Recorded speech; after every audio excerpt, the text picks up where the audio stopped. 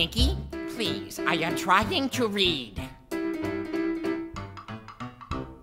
What? If you were queer, Oh, Nicky. I'd still be here. Nicky, I am trying to read this book. Year after year, Nicky. because you're dear to me, Ah. and I know that you What? would accept me too. I would? If I told you today, Hey, guess what? I'm gay! but I'm not gay.